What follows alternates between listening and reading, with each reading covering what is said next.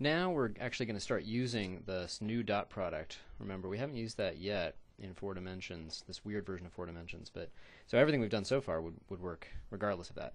But now we're going to use this weird dot product where the we get a sign switch whenever dx naught, which we now know is dt, is involved, the time dimension. And remember the definition of the star is supposed to be that alpha wedge star beta is the dot product, and now that's changed times dv. Now dv is still the same, and we're going to put them in order. The order does matter, remember. dx naught, 1, 2, 3. So the dt is going to come first. Okay, so let's just figure out what these should be. I'm going to do a few of them by hand, and then I'll uh, steal them from below as usual. So star dx naught should be something where dx naught wedge with this is the dot product of dx naught with itself times dv. Okay, so that should be plus or minus, and we'll figure out the sign in a minute, dx1 wedge dx2, wedge dx3, just like before. It's just the plus or minus is different. And let's try, um, if it was uh, as before, it would be with a plus, but now it's going to be with a minus because dx naught wedge this is definitely minus dv, and dx naught dot dx naught, the, uh, the dot product is supposed to be negative. Okay, so that's an example. And then um, if we do look at like ds star dx1, well, now the dot product of that with itself is still positive. We didn't flip anything else. So that's going to be very much like before. Um, this is where our sign convention is kind of nice. I claim it's minus dx naught wedge dx2 wedge dx3. That's the same sign. Um, and that's because, remember, I'm putting x naught first. Now the, the minus is because uh, dx1 would have to move 1 into in to get into here. Okay. Um, and then the rest of them, I'll just do these in C2 here. I won't, I won't import them. The rest of them, dx2, I claim it's still a minus as long as you do cyclic order 0 first and cyclic order on the other ones. And I claim they're all minuses with that convention. Let's check that real quick. These minuses are not from the weird dot product. It's just because I'm, I'm uh, artificially putting the 0 first in a way. The 2 has to flip through um, well, let's see. If you look at dx2 wedge this, it's 2, 0, 3, 1. And so the 2 has to switch with a 0 and with 3 and, ooh, no, no. Actually, first switch the 3 and the 1, and then switch the 2 with the 0 and the 1. So there's three switches. So you can check that these are actually all uh, minus, which is kind of nice. Okay. Now what about star dx naught wedge dx1?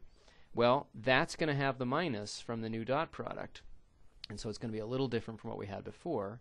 At this point, I think I'm going to steal my list. Maybe not do any of these by hand. Okay. Um, so let's just talk about a couple. So dx naught wedge dx1, wedge dx2 wedge dx3, that's dv, but because this has a dx naught in it, the time variable, we put a negative in, even though they would be in the right order. Um, here, 2301, let's put a little thing, 2301 we want to get relate that to 0, 1, 2, 3. How many switches do we need? Don't have to worry about the um, the minuses. So that's switching 0, 1, a pair with a pair. That's definitely an even number of switches, and so we get plus. Okay, And you can check the signs. So the signs are kind of nice. It's not all the same sign, but anything with a 0 has a minus, and the ones without a 0 don't have a minus. As long as we write the zeros first and the 1, 2, 3 in uh, cyclic order whenever they appear um, more than one of them in the same expression. Okay, let me delete that because we don't really need it. And then star of this guy, well, let's calculate that by hand. Again, you can always pause the video and do some of these yourself. That's the good way to learn it if you want. Now that should just be dx3 plus or minus. And this stuff, wedge this, would be dv, but it, this has a dx naught in it, so it's going to be minus. Okay. And in fact, they're all going to be minuses. Let me scoot down here and grab that one. Um, so let me just replace it. So in fact, they're all going to be minuses if we follow our convention of 0 first, and then uh, the other three in cyclic order.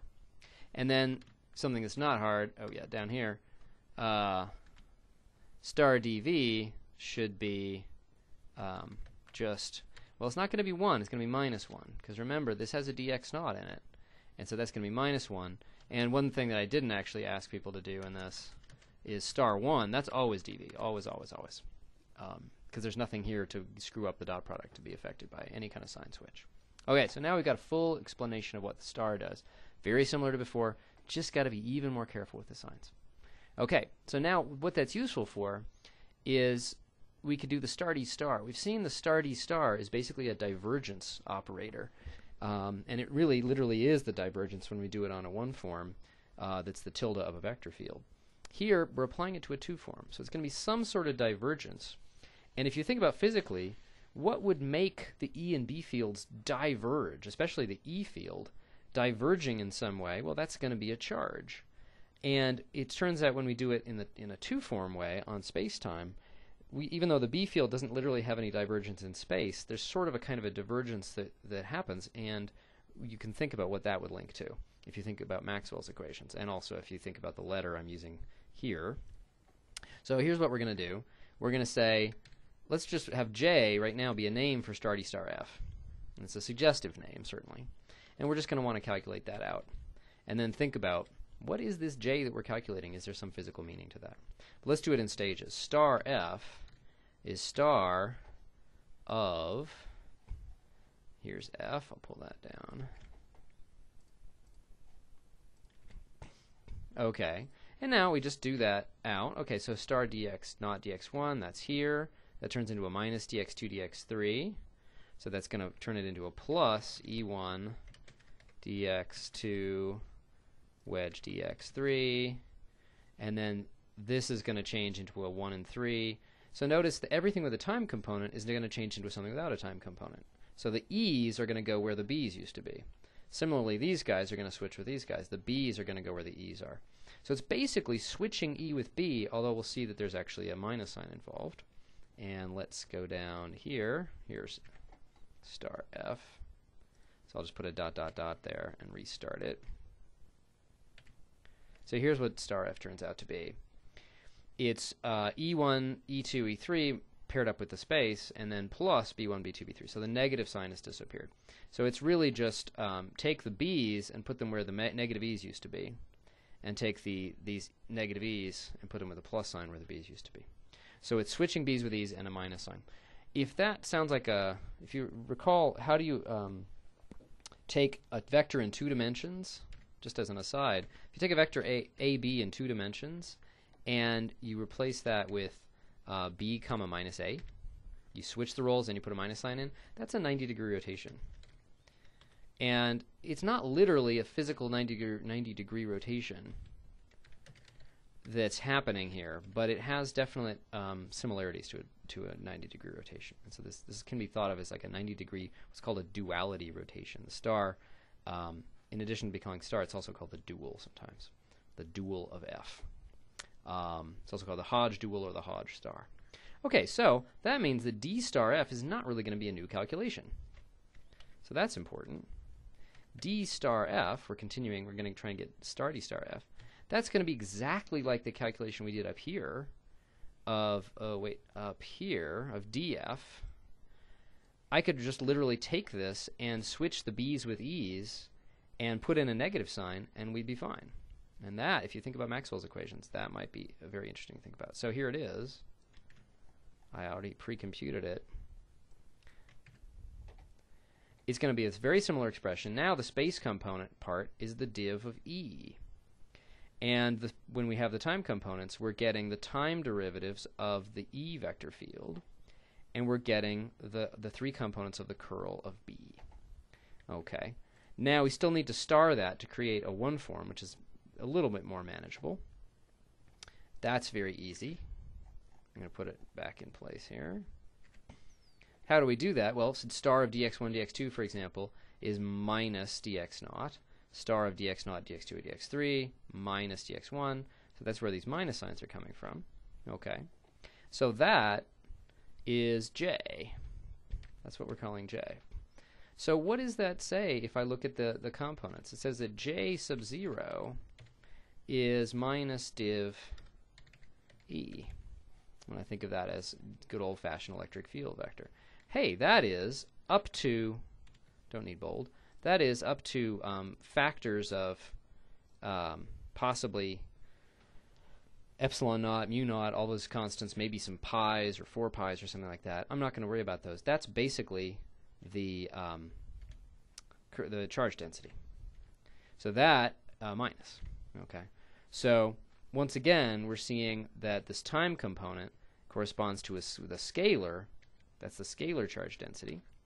And then the vector, the rest of J, J1, J2, J3, when we put those together, I'm going to put a comma in here. Oh, actually, I should say, uh, what, what am I? that's not very good notation. D1, J1 dx1, and then J plus J2 dx2. The spatial part of that, that's a 3. That is just the tilde of a certain vector. Well, what is it the tilde of? Let's get something ready to take the tilde of. Well, that's this stuff. It's minus um, dE dt.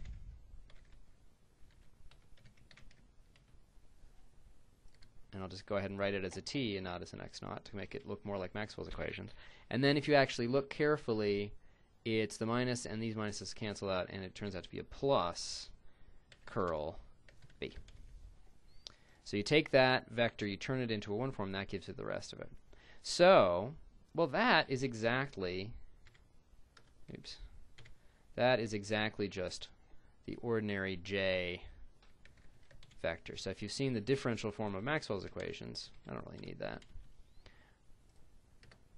then you know that the current density, so here rho, let me go back, that's the um, charge density, that's a scalar, and J is the current density. And the differential forms of Maxwell's equations say that curl B minus dE dt is equal to J. Um, and so what we're doing is putting these together. This is very much like what we've been doing in the whole rest of it. Putting together uh, here a scalar and a vector to become a four-dimensional vector, creating a one form out of that, and then Maxwell's equations just say that star d star f equals j. So you create a one form out of rho and j, uh, the vector j, and then the other, the inhomogeneous Maxwell's equations say star d f, star d star f equals j, and combine that with df equals zero. That's all of electrodynamics in principle um, in two very, very simple equations. Now, we've hidden a lot of coordinate complexity in these equations. There's the minus signs, there's the star stuff, there's the d's. Um, so you could say we've just kind of hidden the complexity, but there's really good reasons for saying that this is a very, very good way to understand this. The d has such wonderful geometric properties. The fact that we're we've been almost forced to combine time and again uh, time and space components, the the rho and the j, the v and the a, the e and the b, to combine things into space-time. This says that space-time, to paraphrase spa uh, Sun Ra, space-time is the place. And it only worked. This this one with the stars is really really important with, to have that minus sign. If you try it without the minus sign, it will not work. If you just do it with a regular dot product and the regular star, this star D star F is going to be something in terms of E and B, but it's not going to be the right thing to match up so nicely with uh, the current density and the charge density to give you Maxwell's equations in this wonderful form. So it's telling us that minus sign was crucial. What does that have to do with? Well, it has to do with the core foundations, the mathematical foundations of relativity, which is pretty cool. Good place to stop.